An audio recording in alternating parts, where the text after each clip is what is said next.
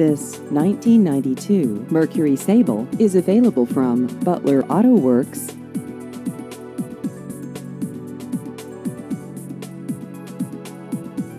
This vehicle has just over 132,000 miles.